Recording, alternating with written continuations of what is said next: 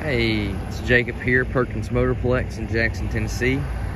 Looking at this 21 Audi Q5. As you can tell, it does need a windshield replacement. I'm sure we've got that scheduled coming up. I don't see anything but uh, bugs here on the front. I don't see any door dings or anything like that, which is good. See, it's a tiny little place where they uh, fill the chip in, I guess as well as right here. So there is a little indention here. As well as this spot. And then it looks like they did a little paint filling there as well. Tiny little scratch there.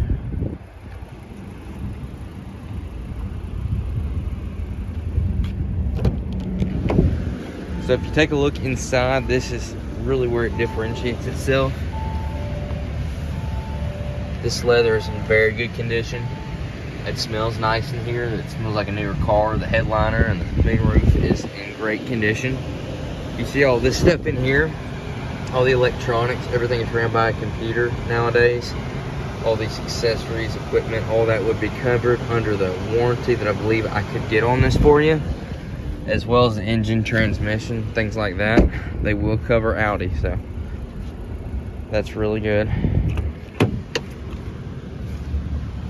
Take a look at this back seat. Looks like nobody really even sat back here.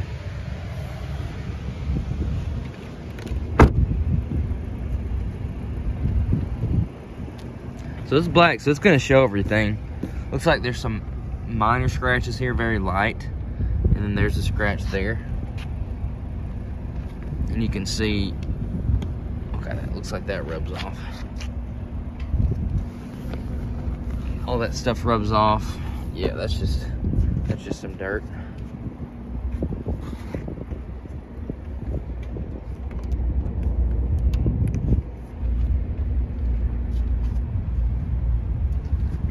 So the back looks good, the rear bumper does look good. That's some more stuff that can be rubbed off, so that's good.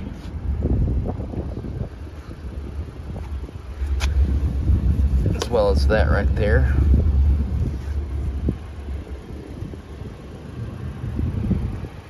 Nothing else on it so far sticking out to me as far as cosmetic blemishes or anything like that.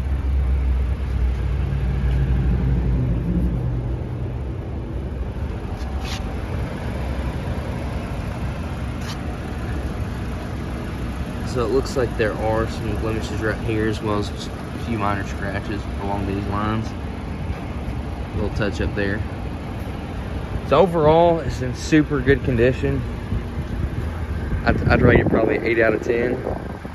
And uh, the inside is probably a 10 out of 10. So there you go.